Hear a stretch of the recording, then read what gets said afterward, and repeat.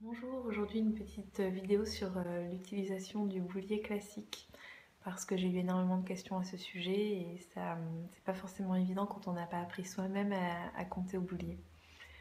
Euh, donc le boulier classique fait 10 rangées de 10 boules. C'est la seule chose qui, soit vraiment importante. Donc ça c'est un boulier Ikea qui fait très bien ce qu'on lui demande pour moins de 10 euros.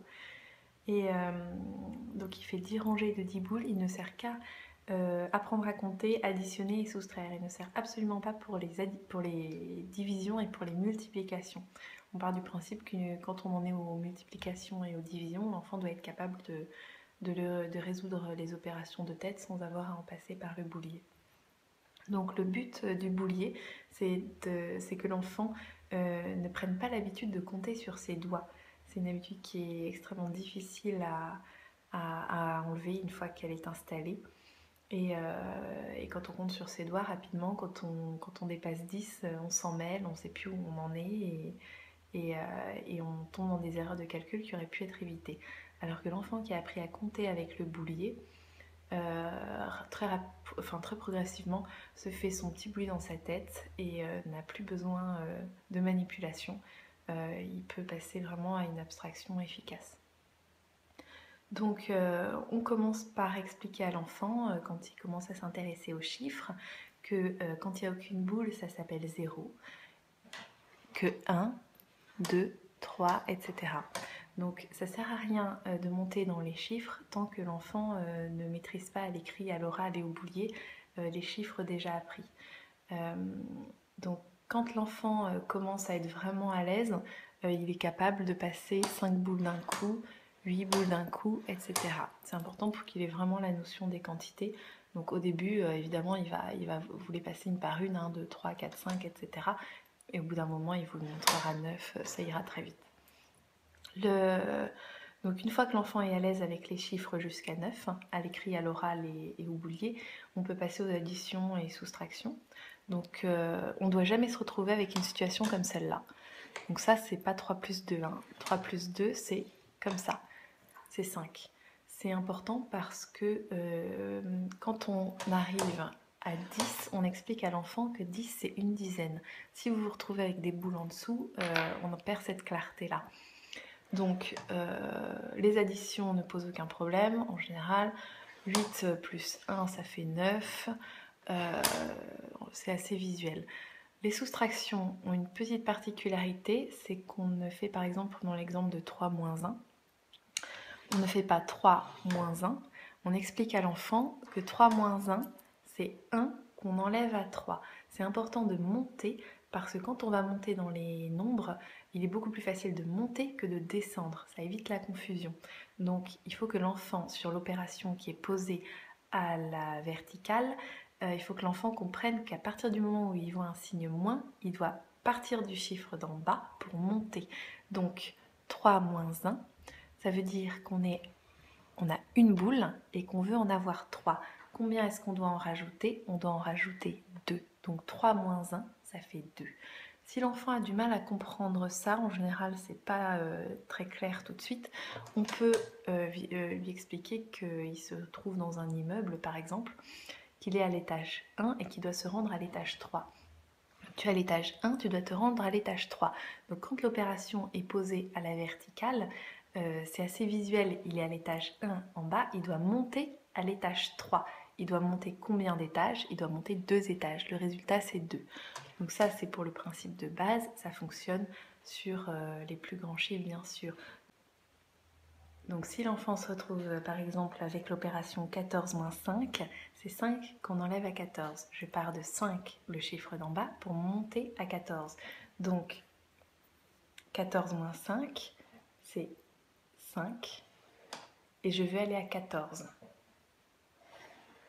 Combien j'ai rajouté? J'ai rajouté 1, 2, 3, 4, 5, 6, 7, 8, 9. J'ai rajouté 9. Le résultat, c'est donc 9. Donc, c'est important que l'enfant procède ainsi pour les nombres plus élevés. Ensuite, euh, le boulier permet d'apprendre à composer et décomposer. C'est-à-dire qu'on explique à l'enfant que quand il a une rangée complète, ça s'appelle une dizaine. Deux rangées, ce sont deux dizaines. Trois rangées, trois dizaines. Donc, une boule simple, c'est une unité. Une rangée, c'est une dizaine. On ne peut pas accéder aux lignes euh, inférieures tant que euh, la dizaine n'est pas complète. Donc 11, c'est une dizaine et une unité. C'est visuel, l'enfant du coup c'est écrire.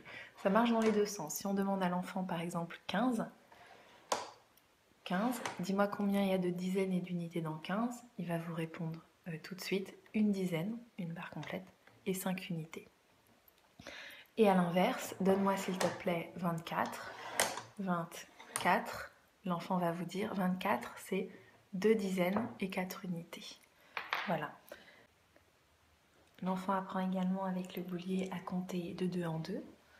2, 4, 6, 8, 10, mais aussi de 5 en 5. 5, 10, 15, 20, de 10 en 10, 10, 20, 30, etc. Une fois qu'on a vu les dizaines les unes après les autres, quitte à passer 5 euh, semaines sur le 50 si vraiment ça passe pas, on attend vraiment qu'une dizaine soit parfaitement acquise avant de passer à la suivante. Donc une fois qu'il les a toutes vues, on arrive à 100, euh, en général en fin de CP pour nous. Euh, l'enfant est parfaitement capable d'additionner, soustraire de tête euh, des, nombres jusqu'à 100 et on lui explique que 100 ça s'appelle une centaine. Ça fait 10 dizaines, c'est visuel. Et, c'est à ce moment-là qu'on peut lui expliquer que, imagine si tu mettais deux bouliers côte à côte, deux bouliers avec 100 boules, combien ça ferait? Ça ferait deux centaines. Ça ferait combien de dizaines? Ça ferait donc 20 dizaines. On efface 9. Ok, on efface 4.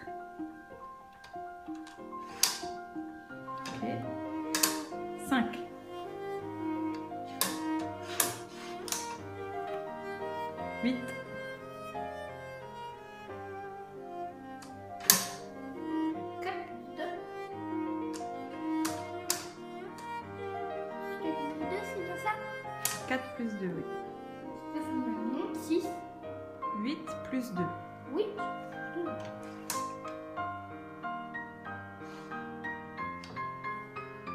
Plus 2. 10. 3 moins 2 égale 1. 10. 10.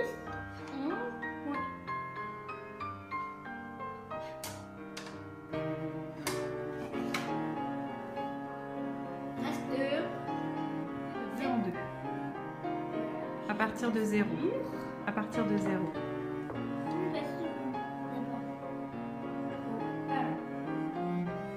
0, 2, 4, 5, 10, 7, T'es sûr? Compte combien t'en as? 1, 2, 3, 4, 5,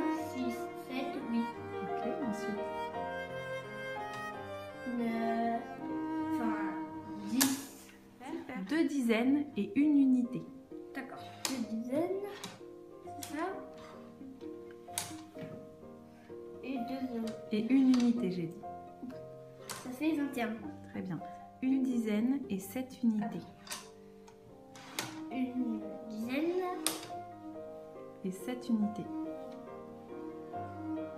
1, 2, 3, 4, 5, 6, 7, Ça fait combien?